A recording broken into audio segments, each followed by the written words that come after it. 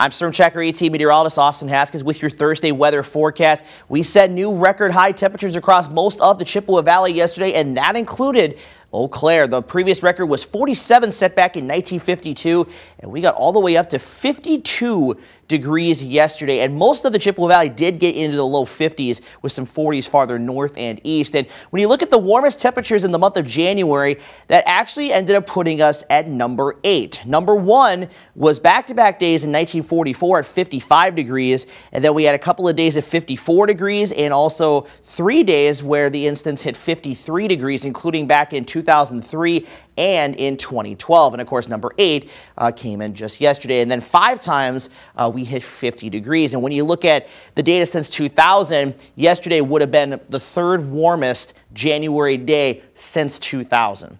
So that's just kind of how crazily warm it was yesterday. And this weather pattern is not going to change anytime soon. Now, a cold front has come through and will give us a few extra clouds. we're dealing with some widespread fog this morning too. So if you're traveling, just be aware of that. It's a dense fog advisory through mid-morning. There will be a few extra clouds around this afternoon into this evening and even to start the day Friday. But the one thing you'll notice, it's going to be just a little bit cooler uh, today and even a little bit more cooler tomorrow as highs will kind of step back just a little bit as we get more of a northerly to eventually easterly breeze. But then into the weekend, we're still going to keep the sunshine around, and that wind's going to be a little more southeasterly, and that will lead to some uh, warmer temperatures, maybe a few clouds and some fog around uh, later tonight into tomorrow morning, and again Friday night into Saturday morning. But uh, for the most part, during the daytime hours, looking at a good amount of sunshine, and that looks to even continue into Sunday.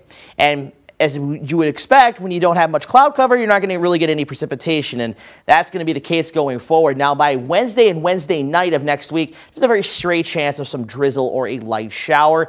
There may be some small chance of precip towards the end of next week, but we're going to worry about that uh, as we get into next week. So, your hometown forecast today, 41 degrees for Medford. Most of us, though, should be in the mid 40s, some even getting into the upper 40s. Lows tonight falling back about 25 to 30. And if we get some fog to develop again, be mindful of some uh, icy spots that could develop. So uh, that happens, just be aware that we'll be uh, keeping you updated on that tonight into tomorrow morning. Highs tomorrow, upper 30s and lower 40s. So again, a little bit cooler, but we're going to still be well above average this time of the year. And then by Saturday, we'll jump back into the mid to upper 40s with a mainly sunny sky. And again, maybe some uh, extra clouds and some fog very early in the day. The record high today in Eau Claire is 49, so we'll be close to that. Saturday's record is 47, and Sunday's record, along with Monday, is 51 degrees. So outside of the dry and warm weather, we'll at least be watching for some temperatures to approach record territory.